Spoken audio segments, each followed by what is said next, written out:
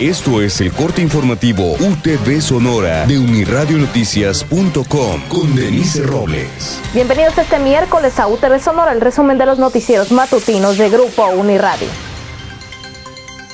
Esta mañana, en La Voz de la Gente, con Gloria Elvira Biebrich, a través de la invasora, Alfonso López, vocero de Vigilantes del Transporte, informó que la línea 10, que pertenece al sistema Siente, y los camiones independientes no aceptan las tarjetas prepago, debido a que no cuentan con el sistema. Esto luego de que varios radioescuchas se quejaron en este espacio radiofónico, debido a que en ocasiones no cuentan con dinero en efectivo y estas unidades no aceptan este sistema prepago.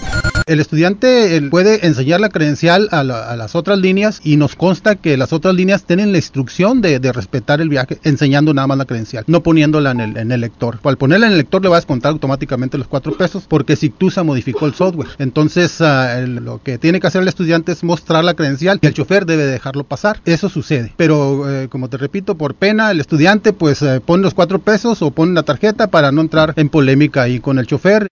En Proyecto Puente por Estéreo 100 con Luis Alberto Medina, la participación ciudadana real en la toma de decisiones para Hermosillo deberá ser fundamental en la administración de Manuel Ignacio Acosta. Esto fue lo que coincidieron especialistas. En esta mesa de análisis participaron Dolores Aragón, Antonio Quintalberni y también el sociólogo y académico Aquiles Fuentes.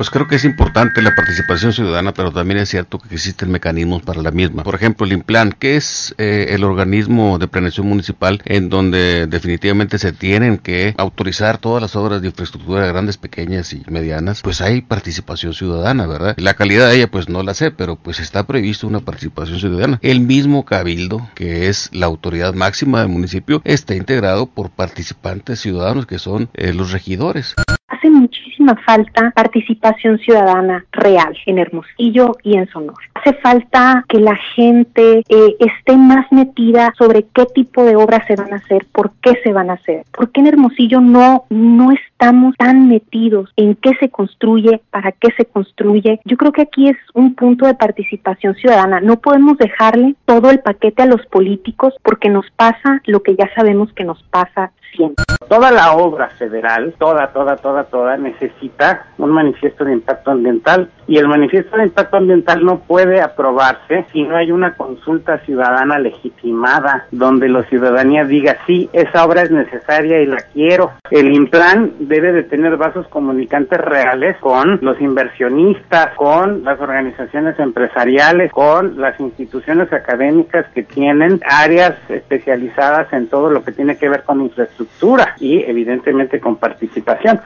Hasta aquí el resumen de los noticieros matutinos en UTV Sonora. Si ustedes escuchar estas entrevistas, ingresan a radionoticias.com.